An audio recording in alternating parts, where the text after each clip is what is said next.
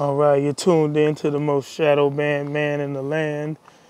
And um, as you can see, you're looking at my shadow right now.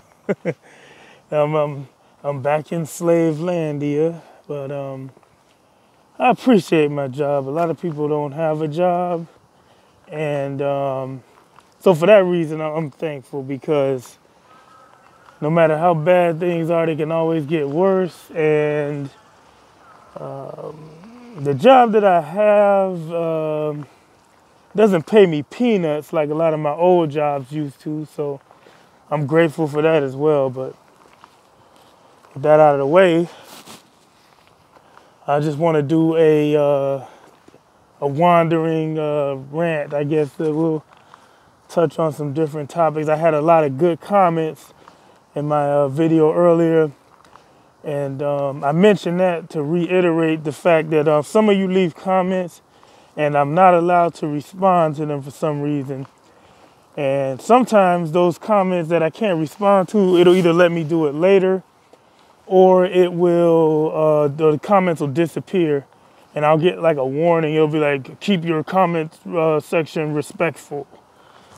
Um, you know, so I mean, it's, it's, it's ridiculous. Not only uh, does, does real truth content get uh, banned, but in addition to that, you can't even leave uh, real comments anymore. So it's pretty absurd. But uh, here we are in 2020, and we're still dealing with uh, you know the, the, same problems that have been persisting. And and, and uh, when I say we, I'm talking about specifically the United States I was watching some of the commentary on uh, the debates, and it's, it's, it's utterly absurd. You know, both of these parties, if you don't get anything else from this channel, one of the things that I want to get across is that both of the major parties are uh, failures.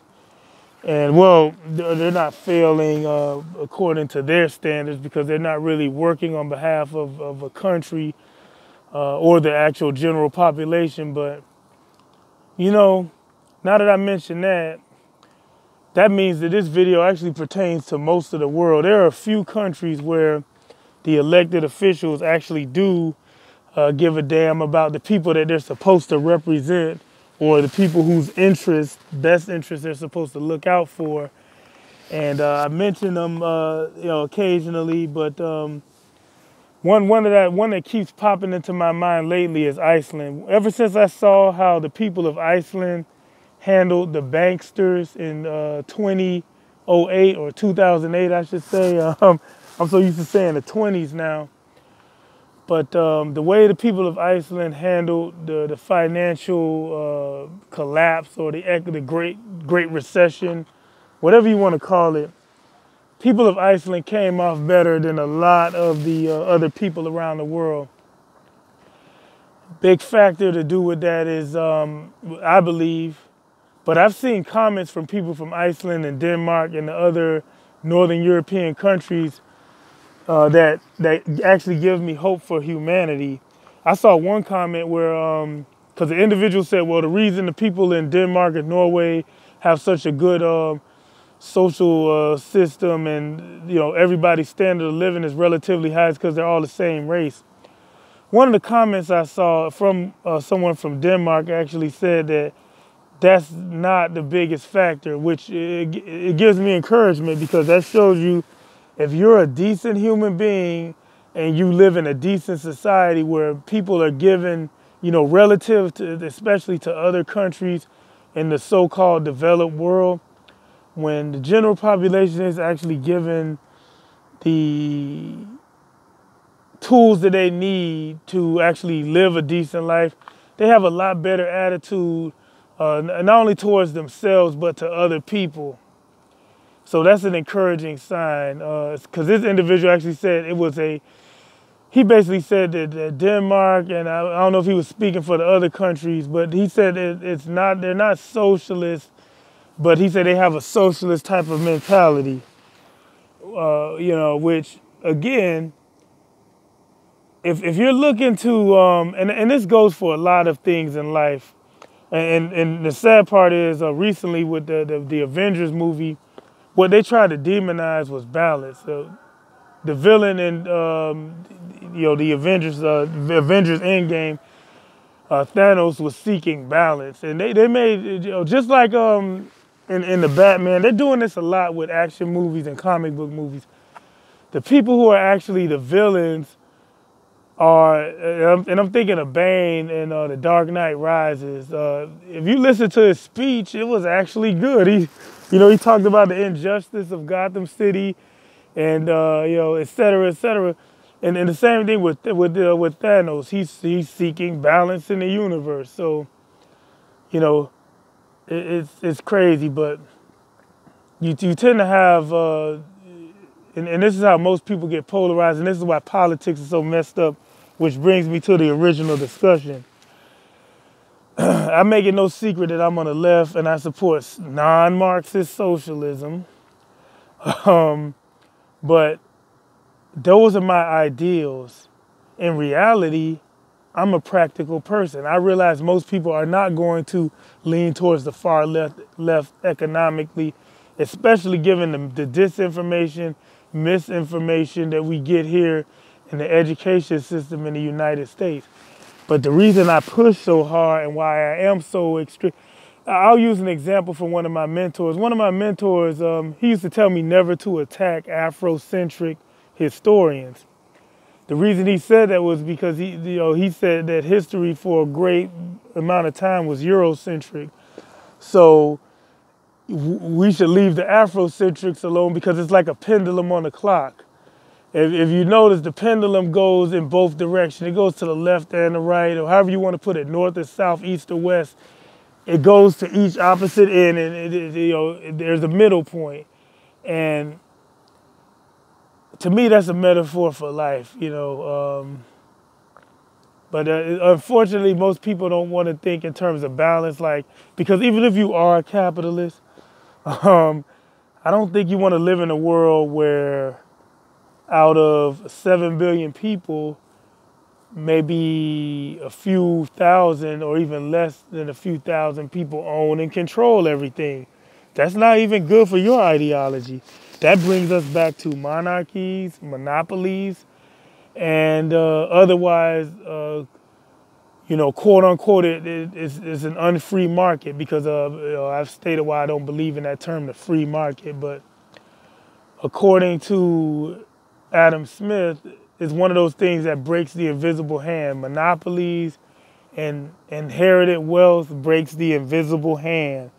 But again, a lot of people who want to claim to be capitalists or anti-socialists don't tend to look at those uh, aspects of Adam Smith and other pro-capitalists who actually realize you do need some sort of uh, balancing act and you do need some sort of uh, intervention to make things function properly. So, getting to our election cycle, these politicians are talking the same crap as always, except for Bernie Sanders.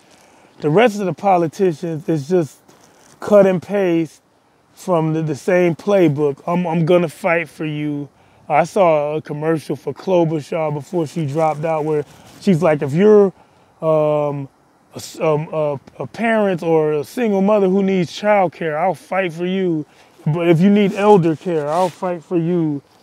You know, these platitudes and, and, and empty sloganeering that Trump really did a good. If, if people paid attention to Trump, he pretty much did what a lot of politicians do, except for he dumbed it down even more. He yelled out empty slogans uh, designed to make the people who were attracted to him feel even better and more enthusiastic. Stupid slogans like lock her up, make America great again, build that wall. That's all slogans and sloganeering. This guy broke every promise because even if he builds the wall, people, he how many times did he say Mexico was gonna pay for it? Not that there should be a wall anyway, because guess what? if there is a wall, it will be dug under. You know, there are ways to get in, uh, through or around or under the or under whatever wall he builds. His uh, rich Uh, factory farmers will still want that cheap labor. And he's really not addressing the main problem of immigration. Immigration needs to be uh, brought, brought to a halt outright. And you could do that by simply enforcing the laws. You don't need to build a wall. All you could do is make sure the jobs that uh, these illegal aliens do are prevented by either raising the wages and having real ID checks as far as um, you make sure people aren't using people so because what I found out was a lot of people from Latin America use um, they steal the IDs of uh, people from Puerto Rico because Puerto Rico is a U.S. territory and the individuals have Spanish names because it's predominantly Spanish speaking territory. So you prevent stuff like that and then you penalize the people who are using their cheap labor. You either raise the, you make them raise the wages so that they have to make well actually Americans, if you raise raise the wage for some of these tasks, Americans would do the job or you penalize them heavily, heavily enough to where you take away the incentive for them and you make sure so if you raise the tax or you or you penalize them financially for hiring illegals you make sure they don't pass the cost on to consumers. You tell them if you raise that price of whatever agricultural product or other product you raise the price to the extent that it hurts them and you don't allow them to raise the price of the of the goods that are being manufactured with the cheap labor. And then you also don't bring in individuals from India and other places where they have uh, high tech training and medical training. You encourage kids that are in school now, like kids that are in middle school, there should be some sort of government initiative that encourages them to get into the trades and encourages them to study information technology. That way they have good paying jobs and you don't have to import cheap labor from India. These are the things you do to prevent illegal immigration. Building a wall is only going to enrich his friends and the people that ultimately build a wall because it won't be a, it's not like the U.S. Army and the government aren't going to give them raw material. So somebody's going to get handsomely paid for building the wall and I'll bet you it's going to be one of his friends. So, you know, these but these politicians, it's all empty slogans. They've been arguing over the same stuff for decades. Abortion. I mean, abortion still comes up. And then the kicker for me with the Democrats, the reason the Democrats are bad, are so bad, is because instead of them being a workers and labor party, they focus on identity politics and sexual perversion they ran away a lot of uh, middle American, like people from the, the center of the country, in between either coast. They ran off a lot of those rural voters and, and voters from the inner states by supporting all these Hollywood and other, you know, mega city values that these people find to be abhorrent and they got away from labor, which was on purpose because both of the parties serve the rich.